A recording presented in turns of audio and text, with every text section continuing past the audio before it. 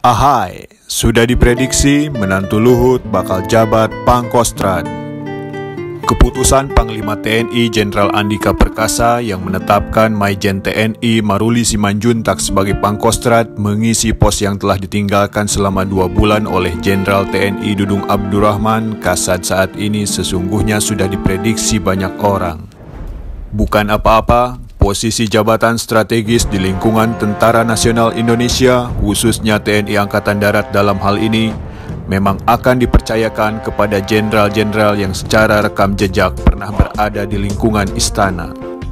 Menjabat posisi strategis di lingkungan istana artinya yang bersangkutan telah disiapkan untuk menjabat posisi-posisi strategis selanjutnya.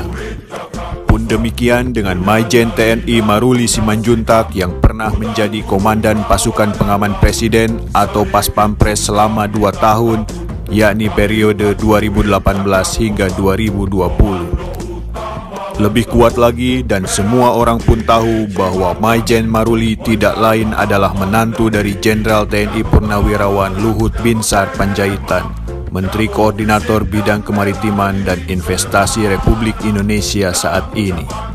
Posisi sentral Jenderal Purnawirawan LBP sudah tidak diragukan lagi dalam pemerintahan saat ini. Ia bak konduktor dari segala orkestra penyelesaian masalah ruwet yang melanda bangsa ini, termasuk penanganan COVID-19 yang dipercayakan langsung oleh Presiden Joko Widodo kepadanya. Tidak salah juga bila Opung yang lulusan terbaik Akabri tahun 1970 ini punya pengaruh sangat besar secara langsung maupun tidak langsung atas terpilihnya Maijen Maruli menjadi Pangkostrat. Dengan menjadi Pangkostrat, Maijen Maruli Simanjuntak akan mendapatkan pangkat satu tingkat lebih tinggi yakni Letnan Jenderal TNI ini. Tentu ini adalah modal besar baginya kelak untuk bertarung ke jenjang yang lebih tinggi lagi menjadi kasat atau bahkan hingga ke posisi Panglima TNI. Lalu, Bagaimana sebenarnya jenjang karir yang telah dilalui oleh Jenderal Maruli selama menjadi perwira TNI Angkatan Darat?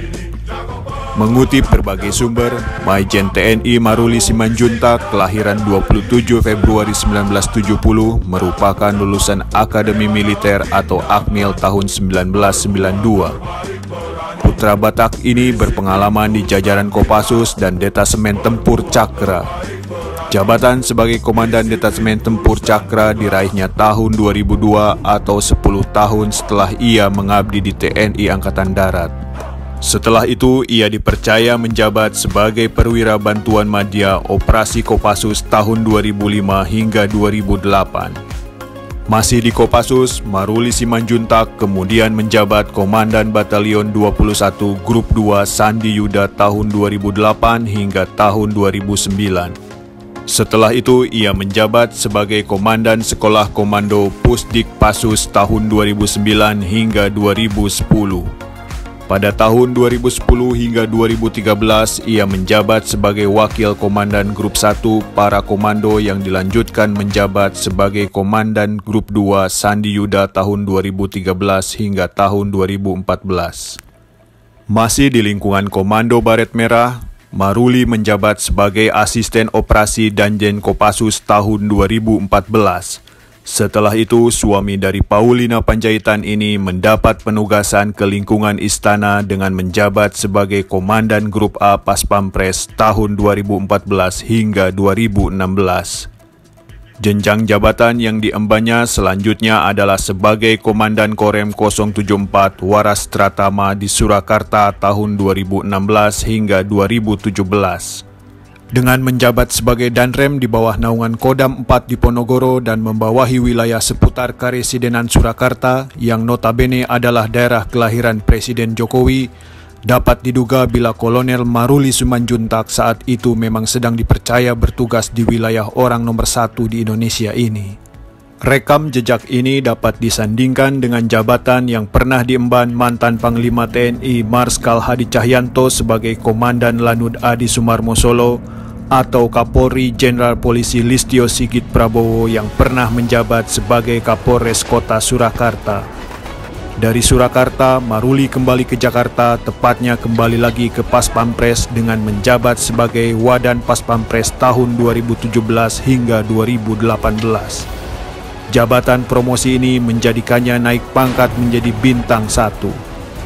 Di tahun 2018, ia kembali lagi ke Jawa Tengah dengan menjabat sebagai Kepala Staf Komando Daerah Militer atau Kasdam 4 di Ponegoro.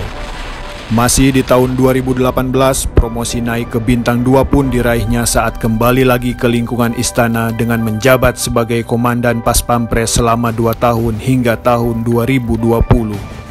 Usai menjabat dan Pas Pampres, Maijen Maruli Simanjuntak mendapat kepercayaan menjabat sebagai Panglima Komando Daerah Militer atau Pangdam 9 Udayana selama 2 tahun hingga awal tahun 2022 ini. Dan yang terbaru, melalui keputusan Panglima Tentara Nasional Indonesia nomor Kep garis miring 66 garis miring 1 garis miring 2022 tentang pemberhentian dari dan pangkatan dalam jabatan di lingkungan Tentara Nasional Indonesia tanggal 21 Januari 2022, Majen TNI Maruli Simanjuntak ditetapkan sebagai Panglima Komando Strategis Angkatan Darat atau Pangkostrat. Menurut pengamat militer Susaning Tias Kertopati atau akrab dipanggil Nuning, Maijen TNI Maruli Simanjuntak merupakan sosok yang cerdas, akademik, rendah hati dan memiliki kemampuan intelijen yang baik. Pengangkatan Maijen Maruli sebagai Pangkostrad, ujar Nuning pas sebagai kapabilitasnya.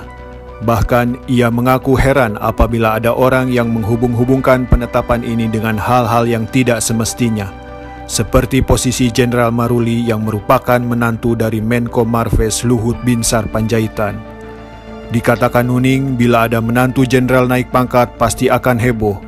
Padahal ujarnya harusnya dilihat juga kemampuan yang bersangkutan.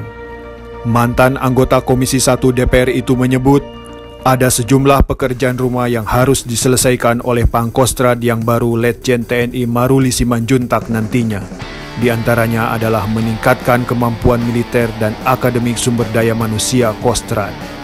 Selain itu, meningkatkan pengetahuan kekinian seperti teknologi informasi dan situasi kondisi negara yang masih dilanda pandemi COVID-19. Peningkatan lainnya, tambah Nuning, adalah meningkatkan kemampuan intelijen dan interoperabilitas para jurid dan perwira. Senada dengan Nuning, anggota Komisi 1 DPR Dev Laksono menilai penunjukan Mayor Jenderal Maruli Simanjuntak sebagai Pangkostrat telah melewati berbagai proses pertimbangan. Ia meyakini Jenderal Maruli profesional dalam tugasnya meskipun diketahui merupakan menantu dari Menteri Luhut.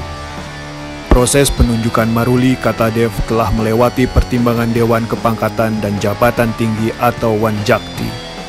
Pangdam Udayana itu dinilai memenuhi syarat menjadi Pangkostrat, menggantikan Jenderal Dudung Abdurrahman. Dev berharap seluruh personel TNI akan terus melanjutkan tugasnya secara profesional termasuk Pangkostrat yang baru Maijen TNI Maruli Simanjuntak. Dalam urutan pejabat Pangkostrat, Maijen Maruli Simanjuntak akan segera dilantik menjadi Pangkostrat ke-43. Selamat bertugas, Jenderal.